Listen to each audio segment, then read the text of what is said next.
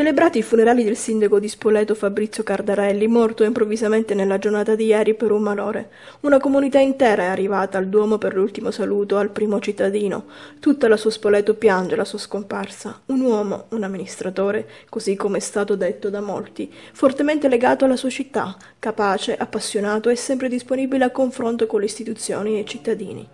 Fabrizio Cardarelli aveva compiuto 60 anni, lascia due figli e una moglie. Sabato pomeriggio ha partecipato alla cerimonia dell'ex Spoletina, consegnata al generale del Sette, e in quella sede ha dichiarato di non sentirsi bene.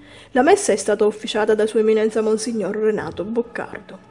A portare il conforto e il sostegno ai familiari la giunta di Spoleto con i consiglieri comunali, la presidente della regione Umbria Catuscia Marini, la vicepresidente Donatella Porzi, il questore di Perugia Francesco Messina, il prefetto Raffaele Cannizzaro, le forze dell'ordine, i sindaci, colleghi di altre città e diverse autorità locali e no.